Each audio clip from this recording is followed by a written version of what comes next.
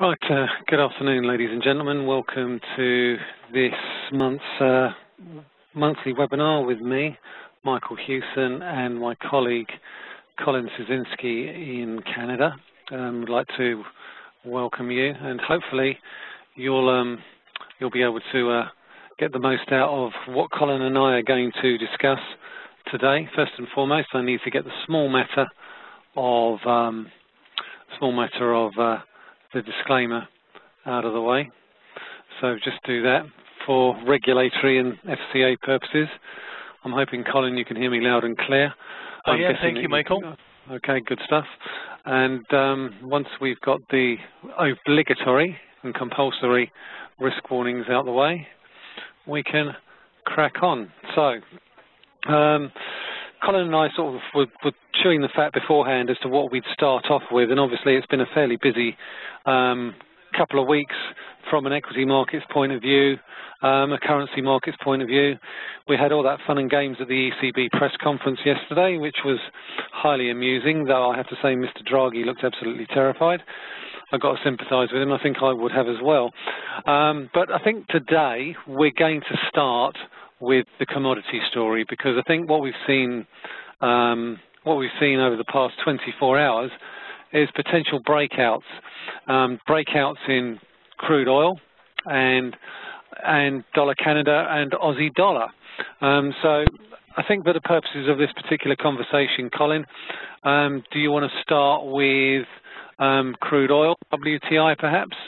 Uh, absolutely. Let's start with uh, the chart for WTI. We had a major breakout for uh, for WTI yesterday. It's been consolidating in a channel basically between uh, 45 and 55 for the last couple of months. It did dip down below uh, 45 a couple of times briefly, down closer to uh, about 42, but the primary channel was 45 to 55.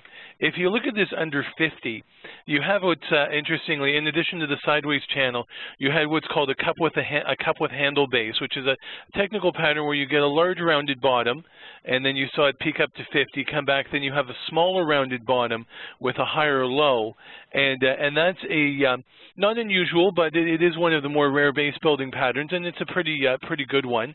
Also, uh, as Michael is drawing in, you had a nice ascending triangle of lower of higher lows forming below $55. You've broken out of that yesterday, and you're now holding above the uh, the $55 breakout point. So today's uh, little slump back in crude oil is no big deal. It's not unusual. Uh, you had a 5% gain in WTI yesterday. It got a little overbought.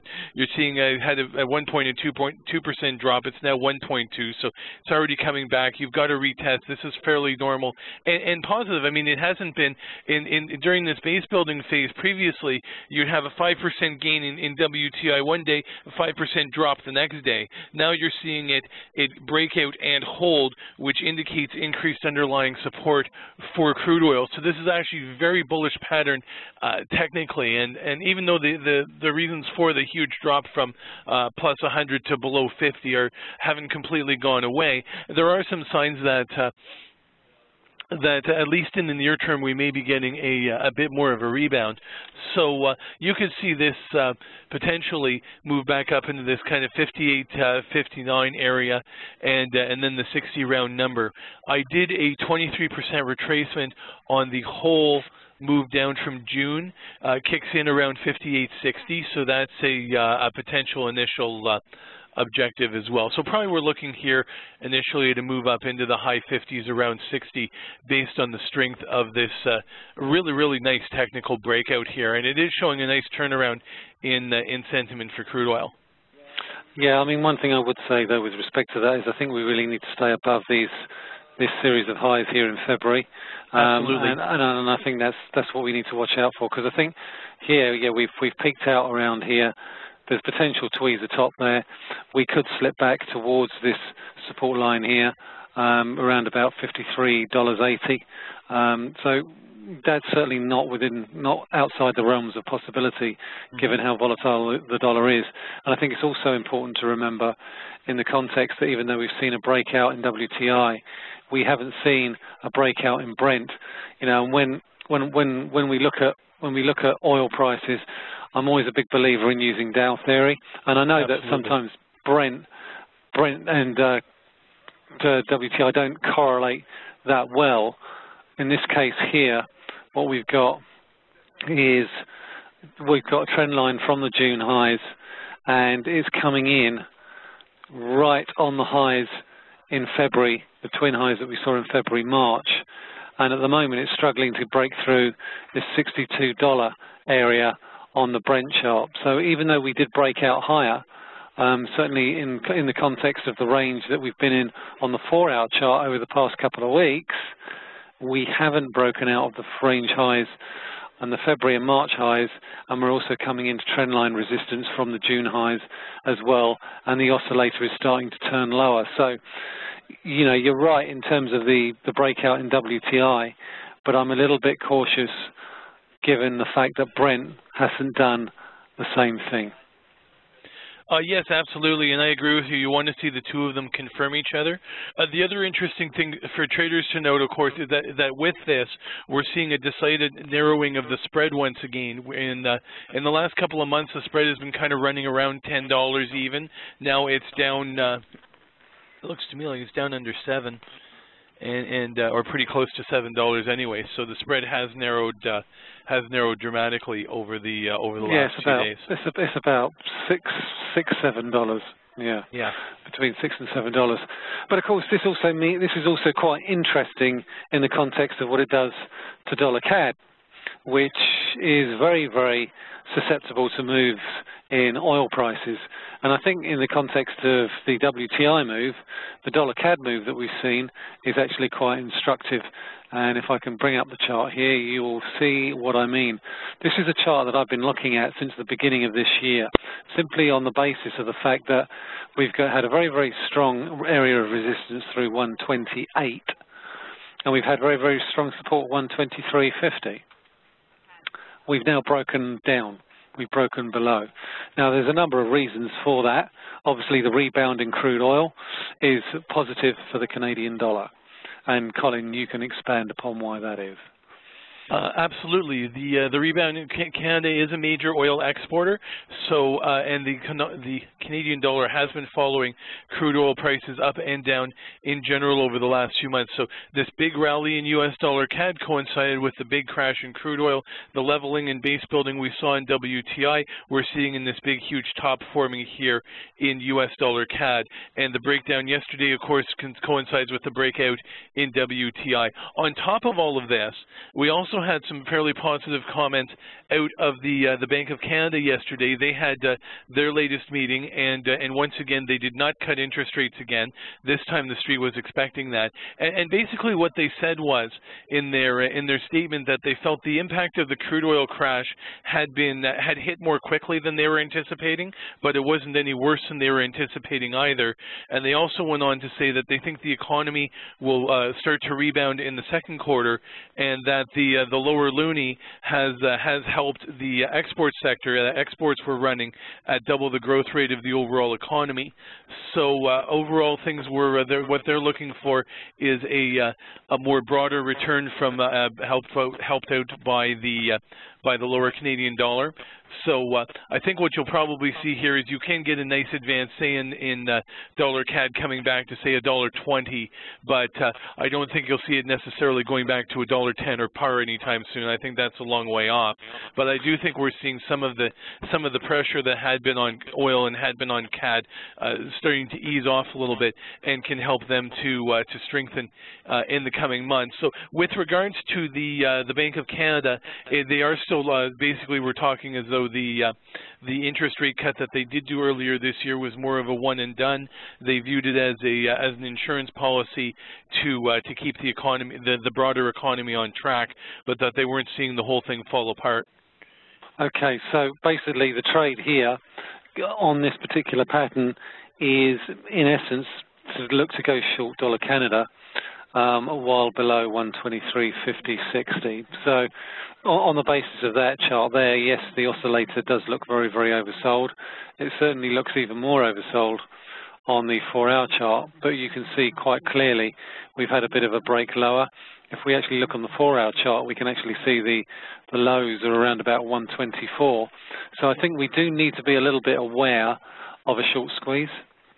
A short squeeze could happen and a short squeeze could go all the way back to 124 given the aggregation of lows over the past few weeks around that sort of area where there's an awful lot of congestion between 123.50 and 124 so you, we do need to be aware aware of the prospect or possibility of a short squeeze, given how long this pattern has taken to unfold.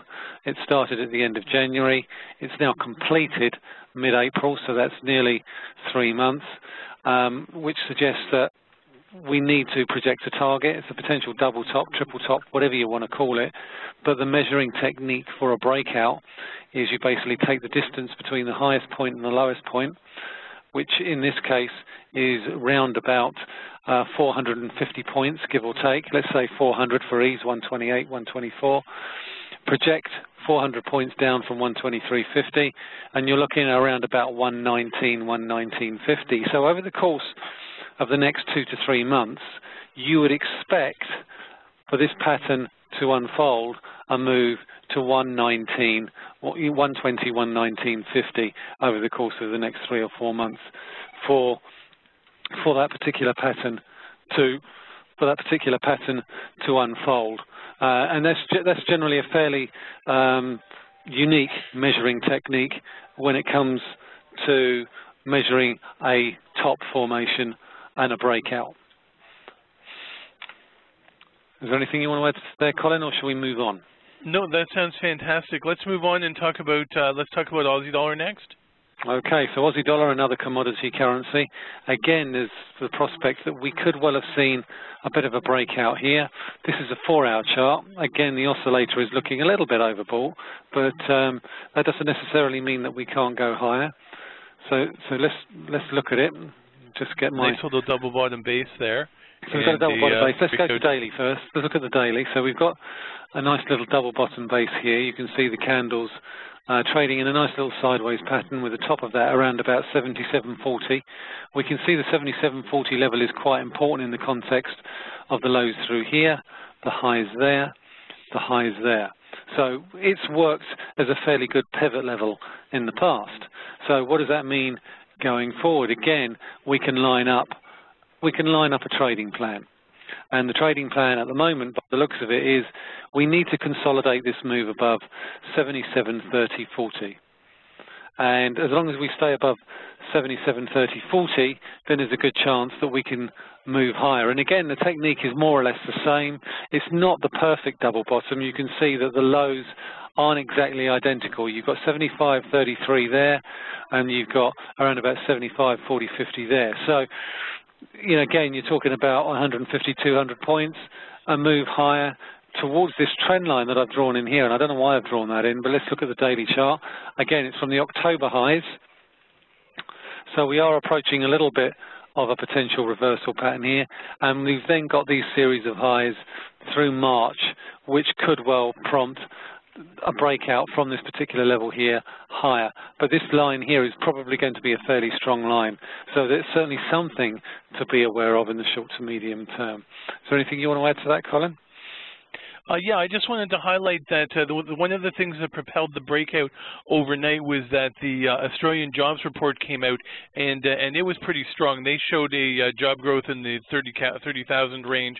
Most of that was full time, which was uh, which was also quite encouraging, and their unemployment rate fell to 6.1 percent. So they actually um, you are seeing a, a breakout on good news. So the two of them are are reinforcing each other. Also, the participation rate went up by the same amount, the unemployment rate dropped from 6.3 to 6.1, 0.2%, and the participation rate went up 0.2%. So it was proper jobs growth because the participation rate went up, the number of people in work went up, and the unemployment rate came down. That doesn't always happen like that, and it certainly doesn't work that way in the US. Usually if the participation uh, usually, if the if the unemployment rate drops, so does the unemployment rate, um, which is not always a a good indicator because it can be mm. misleading. Another reason I think for the strength of the commodity currencies is um, a little bit of US dollar weakness. I know this is something that you and I have disagreed on, um, Colin, over the course of the last few months. um, the timing or otherwise of a US Federal Reserve rate rise. Um, yesterday's economic data, industrial production, disappointing.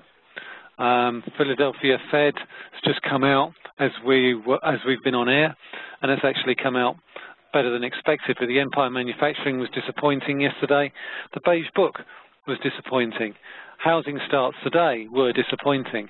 And what we're seeing at the moment, I think, whether you believe it's weather related or not, is the fact is the US economy does appear to be experiencing a little bit of a soft patch.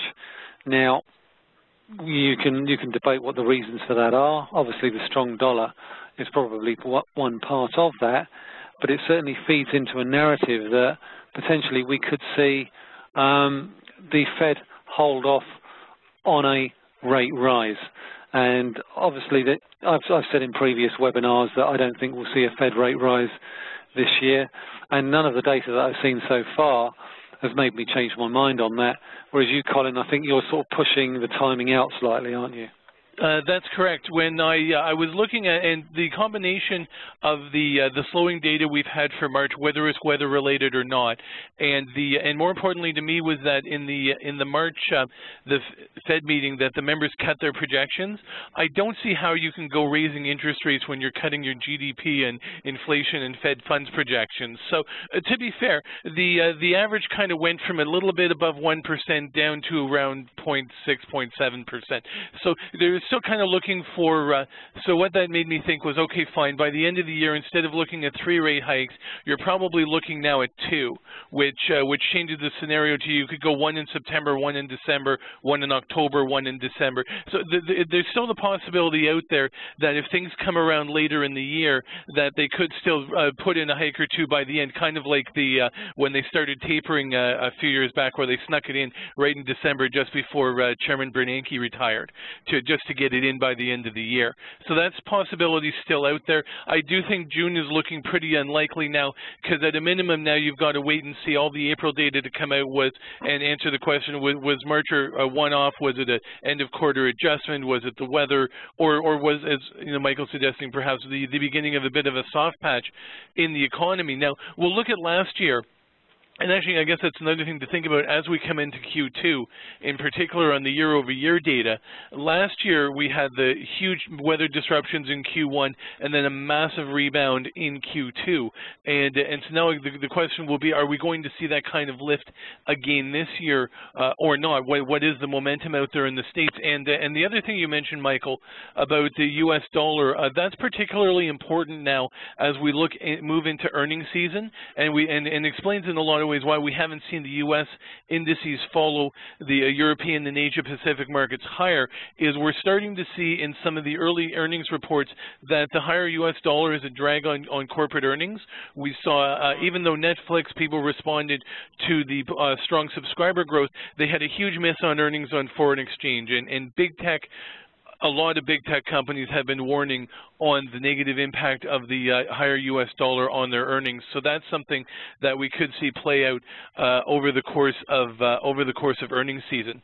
Uh, just flipping back to the Fed for a second, one of the reasons why I, I think that they need to do something and uh, whether it's one increase or, or, a couple of increases is that they've kind of played themselves out. They've done multiple rounds of quantitative easing. Interest rates are almost at zero, and they're kind of at a point where they need to reload. They need to give themselves some tools that they can work with for when the next crisis hits. I go back to the, the Bank of Canada did a couple of interest rate increases back in, in 2010, which uh, which came in handy when the oil price crashed last fall and gave them the room to uh, to actually put through a, an interest rate cut and, and and room for a second one if they need it down the road. Whereas the mm. Fed has kind of painted themselves into a corner. I think they have to do something, and uh, whether it's raising interest rates, and, and I'm going to leave it that. there because Michael, I think you've, uh, I think this is a good point to go to your theory, which I think is really interesting. Yeah, I mean, the Fed hasn't raised rates in 10 years. And to be quite honest, I think given what we know now, it would be very, very unwise to do so, given the experience the European Central Bank had in 2008 and 2011, when they raised rates to deal with an inflationary threat that subsequently was not there. And interest rates are a very blunt tool to basically try and control monetary policy expectations. Now, we've seen the Fed, when the financial crisis hit in 2009, they cut rates to zero. What they also did was they embarked on a QE program, three QE programs to be precise, between 2009 and the end of the last QE program, which was at the end of 2013. If you want to send a message to the market without tying yourself up in knots, you've got a balance sheet that is worth $4 trillion. Why not start to shrink that balance sheet? What you what you what do you essentially do is you let the you stop reinvesting the proceeds of uh, mortgage-backed securities and treasury bonds that are maturing, or you sell them back into the market. That in itself increases the supply of bonds, and to a certain extent, it also um, pushes the yield curve up and that in itself gives you a little bit of a tightening bias to monetary policy. What it also does is you don't hold yourself a hostage to fortune by um, interest rates because essentially if it goes wrong, you then don't have to reverse the interest rate cut. All you do is you slow down your sales of bonds or you stop them or you reverse them. So it's much more subtle and it's uh, it's a lot less crude. Interest rates can either go up or they can go down. With the size of the balance sheet and the amount of bonds and treasuries on your balance sheet, you can adjust them up and you can adjust them down, and it's a much more elegant way of doing it. So I think when we're looking at what the Fed's going to do later this year, I think what we need to look at is the language. So when we hear policymakers saying they want to normalize monetary policy, don't automatically assume that means raising rates it could just mean that they're going to start looking, selling off some of their bond portfolio, and that in itself could tighten rates.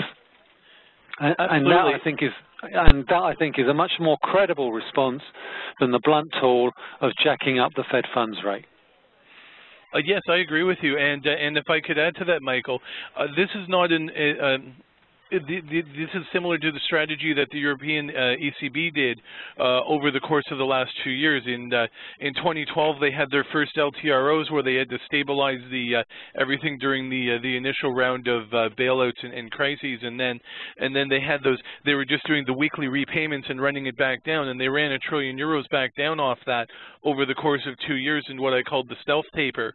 And but that then and then what we're seeing with the new QE program is basically just putting all that back into the market again. So it gave them the flexibility in a quiet, steady way to then be able to act again when they needed to. You know, so I, I agree with you. I think that would be yeah. that makes to me makes a lot more sense to uh, for the Fed to do than uh, than raise interest rates. I agree with you on that. Okay, so what does this leave us with respect to euro dollar? At the moment, everyone is still looking for, to push euro dollar quite a bit lower.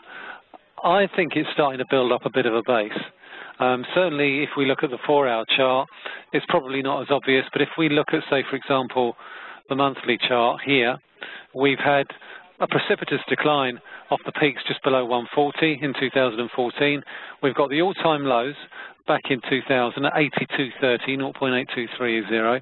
We've got the peaks at 160.37 in 2008, and we've got this 105 level here, which I've outlined, which basically was the lows all the way back in March 2003, 105.02. Now, we haven't yet closed, um, we haven't posted a monthly close below 105. And I think that for me is very, very significant. Look at how oversold the oscillator is. Now, you know, I don't want you to read too much into that because oscillators can remain oversold for a lot longer than you or I can stay solvent. So don't read too much into that. But certainly in the context of this candle here, we have we've pushed lower, but there's quite a long lower shadow on that March candle there, which suggests that the, the down move is starting to get a little bit tired, certainly in the short to medium term. So we've certainly got we've certainly got potential for a rebound, but what we really need to do is we need to try and push and close below 105, and at the moment that doesn't appear to be, or doesn't appear to be getting much traction. That being said, we've had a number of very disappointing US data items come out and the euro hasn't gone up. So that is a worry. But if we look at this weekly candle chart here, we've had a strong down move, and then with this candle here, does appear to suggest that the market is getting a little bit nervous of being short. It's not quite a bullish engulfing uh, week, but it's not far off it. This down move here that we saw after non-farm payrolls failed to push us through 110 has obviously brought us back lower again. But what we haven't seen is we haven't taken out the previous lows around 105 and at 104.60. So again, the upside bias or the, the susceptibility to a rebound is still there. We're at the moment trying to push through 107, so I'm going to take it down even further. And this is how I break down my charts to try and get a gauge of where we're going to go next. So again, we've had a whole succession of down days, and now we look as if we could have three successive up days. Look at yesterday's candle. We've tried to go lower, and we've failed to take out the previous day's lows and each successive low has been higher than the previous low. So that suggests to me that the market is, while it's oscillating wildly in, in the context of the daily moves, it's not taking out the previous day's low, which suggests to me that the market is reluctant to get overly short. Now, obviously, that could well change over the next day or so. We're coming up to the weekend. Um, I think people generally always get a little bit worried about um, the weekend, what with Greece and everything else, and the possibility of a Grexit. You know, and I, I think Greece will default eventually. It's really all a matter of timing. It could be this weekend, it could be next weekend, it could be next month. Um, I don't think it will be next year, but it will certainly be sometime in the next two months because I don't think the discussion with respect to Greece is sustainable. Putting that to one side, um, we can see from here that the lows are getting higher and the highs are also starting to get a little bit higher. So momentum does appear to be slowly building for another test higher towards these three peaks here around 110. We had three attempts, one, two, three.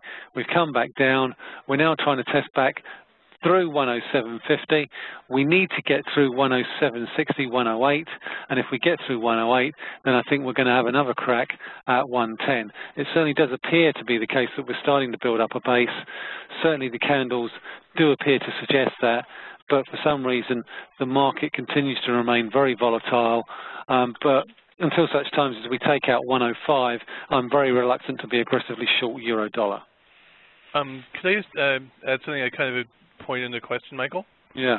Uh, first of all, this 105 is not quite perfect yet, but that is starting to look like a, a double bottom, which is encouraging. And certainly we've seen uh, a lot of double bottoms, double tops, triple bottoms, triple tops in uh, across a number of markets in in recent weeks. So that is starting to become a more uh, a, a, pattern that's playing itself out across a number of asset classes.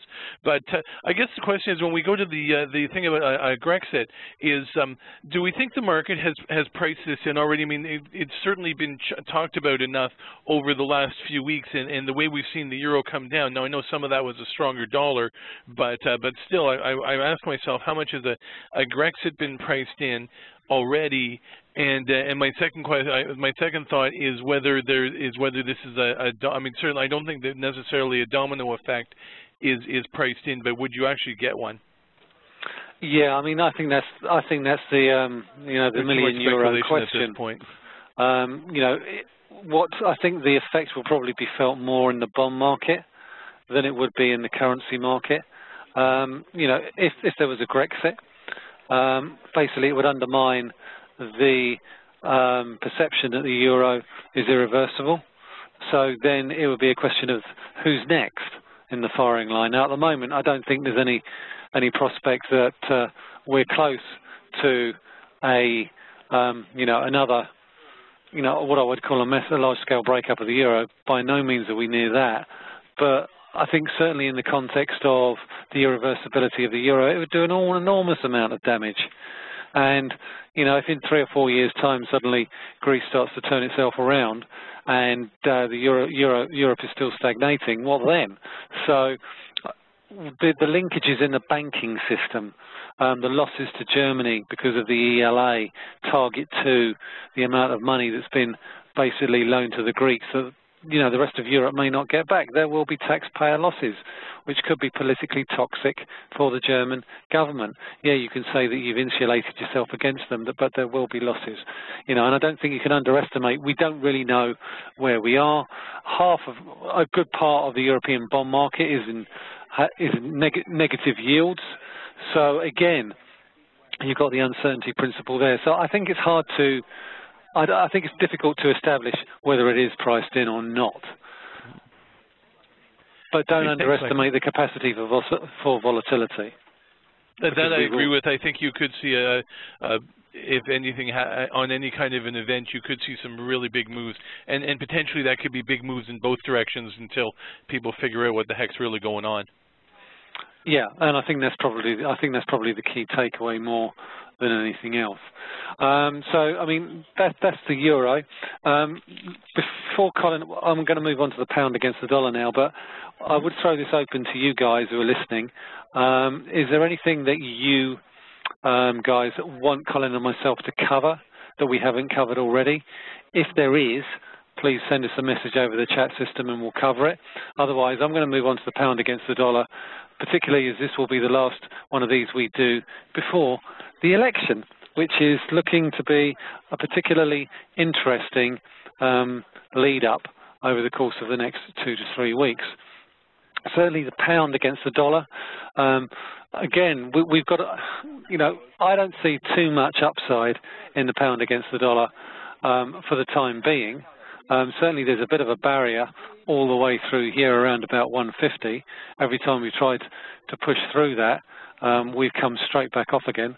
And I think we can draw that through here, 149.94 there. Let me just extend that backwards, like so. So we can see from, from this cable chart here, um, pretty similar story in the context of the euro dollar. It's, you know, the, the, declines that we've seen thus far have largely been as a result of the stronger dollar. It's been less about sterling weakness because if you actually look at the pound's performance against the euro, it's been particularly good. So those of you who want to go on holiday to Spain or somewhere like that, you're now getting 138, whereas beforehand you're getting around about 120. So um, from that perspective, the pound is quite strong. But the, the big point I think to look at is again here, we've got a very, very strong reaction off 146, which cleared out a lot of long positions just above there.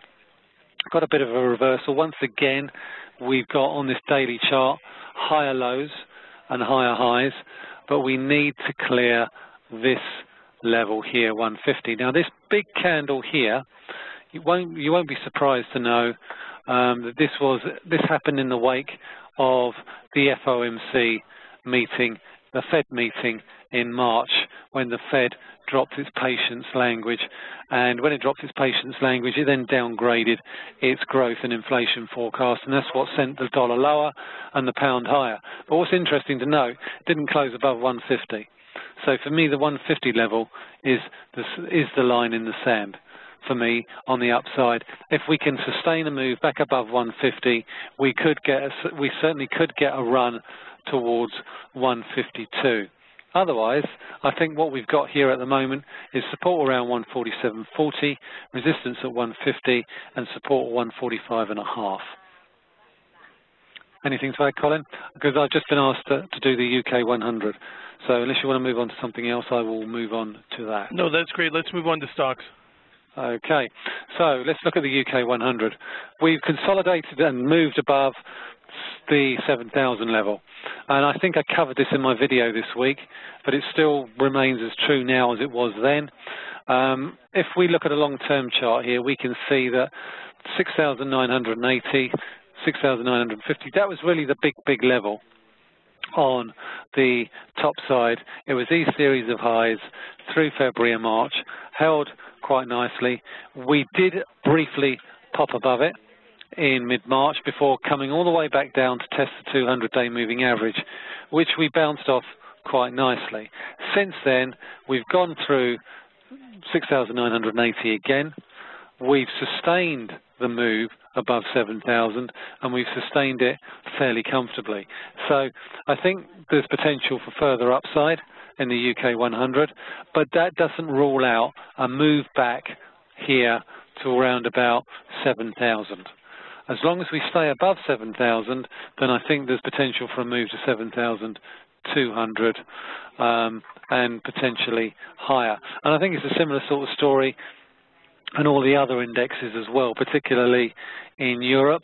What we don't want to see, I think, with respect to European markets is a strong rebound in the euro because if we get a strong rebound in the euro, that could push European markets lower. I don't think it's been any coincidence that at the time the euro has been weakening over the course of the last four months, European markets have outperformed. Every time we've had a rebound in the euro, the DAX in particular has pushed lower. So a stronger euro is potentially going to weigh on the DAX and other broader European markets. So for the purposes of this particular chart here, we can see for the moment, in the short term, through here, around about 7,040, there's going to be an area of support. And we look as if we're probably going to test that over the course of the next day or so. If we drop down to around about 6,980, I wouldn't be surprised. But overall, I'm not bearish on the UK 100 quite yet, but I would be concerned if today we dropped below this low here, which is 7,056, which we're only about nine points above. Why would I be concerned about that? Because basically what we've done is we've made a fresh high, and if we then close below yesterday's low, that would be a key reversal day.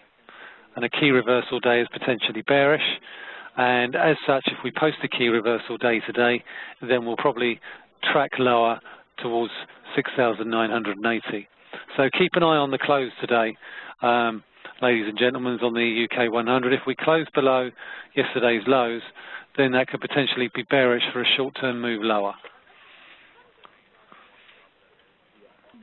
Uh, on that, Michael, could you please pull up the Dow chart? I'd like to do a, a bit of a contrast here. Sure. The Dow, not the S&P. Uh, either one's fine. Let's do the sure. Let's do the S&P. Or okay. the Dow. Dow's fine. No, that's all right. I've got the got the Dow there because right, actually I think the Dow chart's better because I've already drawn a little uh, uh, sloping line in. Yeah, so one thing I just wanted to mention here over the last, say, since the beginning of March, is we've seen a number of major world indices break out to new highs. So uh, we had new highs in the DAX, we've had new highs in the FTSE, we had um, we had new highs in the, the Hong Kong, Japan have just exploded to the upside. The the Straits has, broken out to a new high. Everywhere except except North America is is one play in, in Australia where they're stuck at 6,000. But uh, U.S. in particular, the uh, you know, it, it's you do have lower highs here, but you're almost looking at a bit of a triple top here. You've gone sideways. Of course, over the last couple of years, you've had a massive rally in the Dow, and and I just want to mention this is what I'm talking about about the the impact of the, of the higher dollar is not just the higher dollar in and of itself, but more importantly the impact on corporate earnings. We can see every time the Dow tries to push higher, and this is even with the the sentiment changing sentiment now that the Fed is likely to to back away from the June uh, liftoff for rates into into later in the year, and as you suggested, perhaps do something else entirely. Previously, anything that had been had suggested that uh, that the the Fed could cut back may not may not be as hawkish had been enough to drive markets higher, and now it's not. And I think that's because we're starting to see this uh, this corporate earnings effect starting to kick in and drag on U.S. stocks. Yeah, and I think that's the key. I think what the Fed does over the next few months will, I think, have a, a significant impact on what US markets do.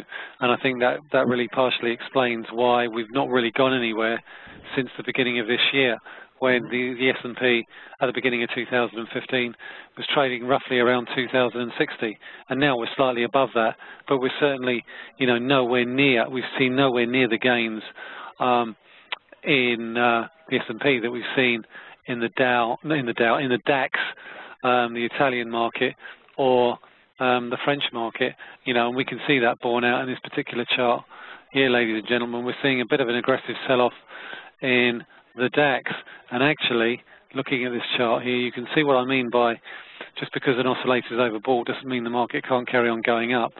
We potentially got a little bit of a breakout coming along here, though I probably need to redraw that trend line from the lows ever so slightly because of this here. So let me just do that. But there does appear to be some evidence that maybe the market could be gearing up for a bit of a, a bit of a move lower. Um, we've we've broken below the previous highs at 12,220 after making a brand new high. Let's see what the weekly candle chart looks like. Well, that's going to be interesting, depending on where we close this week. Could that potentially be a bearish engulfing week? It's looking like it, isn't it? It is. I mean, we've got a tweezer top. Yeah. The, the the the the highs, the the two week highs are exactly identical. Let's look at that there. We've got 12,392 and 12,392, give or take, wow. rounding up or down. So you definitely got a tweezer top there. Um, certainly on the if daily. 12 in the trend line, you'd look pretty ugly. Yeah. So it's definitely worth keeping an eye on the date, the weekly close mm -hmm. on the DAX let's see what other European markets look like because I think one thing that has, I have noticed is the French market has actually outperformed the DAX this month. It's actually continued to kick on, um, but you can see there it's been much less volatile. Certainly, a significant area of support around 5,200. But then, when you actually look at the big history on the French market, it's not hard to see why we're well below the 2007 peaks and the 2000 peaks. So the French market is well below its all-time highs, whereas the DAX is um, at its all-time highs. So sometimes it's not as what I would say coordinated as it could be. One thing I would say is that the Spanish market is also showing signs of exhaustion on the daily charts and we can see that borne out in this market here. And I think it's quite interesting that the two best performing economies in Europe, Spain and Germany, their stock markets look as if they're about to start rolling over. Um, you look at the, the bearish candle here. It's not a bearish engulfing pattern, and the reason for that is because the candle here is exactly the same color. They need to be opposite colors. Uh, and here what you've got is a little bit of a rollover. Let's see what it looks like on the weekly chart again, potentially bearish, a brand new high. If we close below the previous week's high, that could potentially be bearish, and we could trickle down back towards this gap that we saw um, four weeks ago when we pushed higher at the end of, or, or in the beginning of, in the middle of March, February, March. So worth keeping an eye on the Spanish IBEX and um, the German DAX, because I think if those two markets roll over, it could drag on the rest of Europe's markets, namely France and Italy. Okay, um, it's 1542. Um, unless anyone else wants us to cover anything else, I'm going to wrap things up now. If any one of you wants to listen to this webinar back, we'll be posting it on YouTube, and you can listen to it back. Otherwise, I'd just like to thank you all for um, listening today. Hopefully you got something out of what Colin and I were talking about. If you do have any questions on any of the things that we've discussed today, please feel free to tweet us. I'm at mhewson underscore CMC, and Colin is at ccieszynski underscore CMC. Otherwise, I'd like to thank you all for um, listening, and um, I hope you can join us same time next month. Thanks everyone for joining us today. And thanks, Michael. This was great. Cheers. Thanks, Colin.